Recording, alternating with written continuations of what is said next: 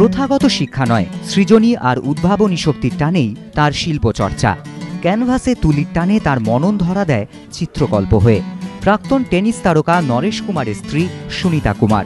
শহরের একটি পাঁচতারা হোটেলে শুরু হয়েছে তার হাতে আঁকা ছবির প্রদর্শনী। কখনো নিতান্তই সাধারণ বিষয়, কখনো বা তুলির মোচড়ে তুলে ধরা শহরের চেনা অচেনা ছবি। কলকাতার রাজভবন থেকে অমৃতসরের স্বর্ণমন্দির উঠে এসেছে তার ছবিতে। এঁকেছেন মাদার টেরেজার ছবিও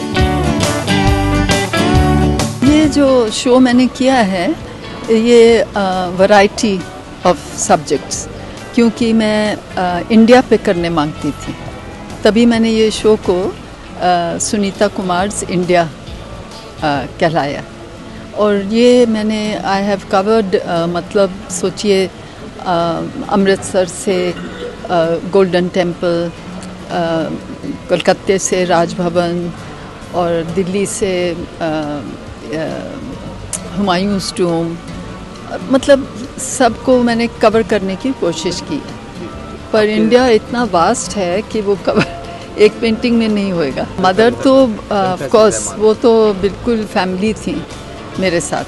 तो वो आ, आ, मैंने उनके साथ 36 साल आ, काम किया। এদিন তার শিল্পকীর্তির সাক্ষী অভিনেত্রী শর্মিলা ঠাকুরও। ঘুরে দেখলেন সুনিতার ছবি। অনেক দিন থেকেই দেখছি ওনার কাজ আর আমার খুবই ভালো লাগে। আমার নিজেরও আছে দুটো একটা মাদার টেরিজার আছে একটা বাচ্চার হাত ধরে আর একটা দুটো হাতি যেটা আমার বেডরুমে আছে।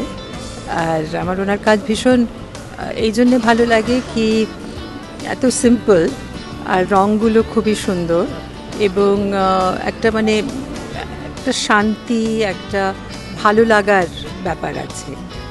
ইটস ভেরি পিসফুল সাধারণ দৃশ্যপটের মধ্যেই অসাধারণত্বের খোঁজ। রঙের বহুত্বের মধ্যেই শান্তির সন্ধান পান সুনিতা কুমার। এই সপ্তাহ জুড়ে চলবে তার ছবির প্রদর্শনী। মনোজিৎ সরকার, এবিপি আনন্দ, কলকাতা।